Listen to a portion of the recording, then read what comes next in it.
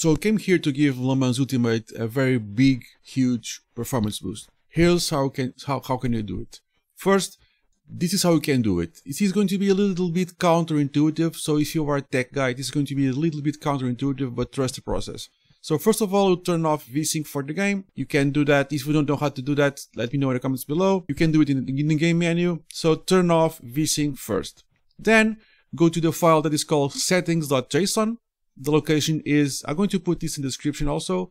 It's on your Steam data folder, Steam apps, common, Le Mans, Le Mans Ultimate user data player. I'm going to put that in the description so you can find your own. The Steam data folder, it can be anywhere. It depends on one where you put it. Usually it's on a C drive, but, or you can just uh, right click on Steam and you can also get directed to the file location there. Just check out the B-roll for that. I'm going to also put this in the comments below so you can get details. On the just settings.json file, you'll just right click it and open it with Notepad. Again, the B-roll will show you more how to do that. Find the max frame rate setting, okay? Find the max frame rate setting and set it to your most comfortable frame rate. Usually, usually you, you put this on the monitor's refresh rates for, for better results. You can put it higher and test, but I highly recommend to put it on the uh, your monitor's refresh rate if you can achieve those kind of FPS. So it means that if your monitor it's uh, 120 hertz display, you should be able to process or to output 120 frames per second in your system.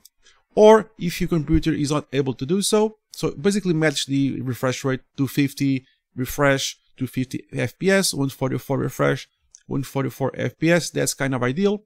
If you cannot do that, just get it to something that you know that the computer can handle, like 75, 80 FPS.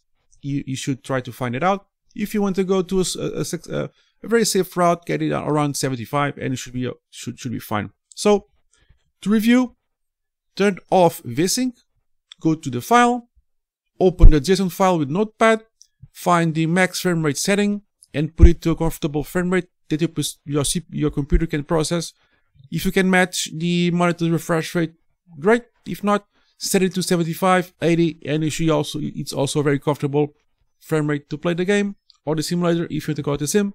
If you want to call it a game, call it a game. This is going to give you a massive performance boost and more stability in the game or in the sim.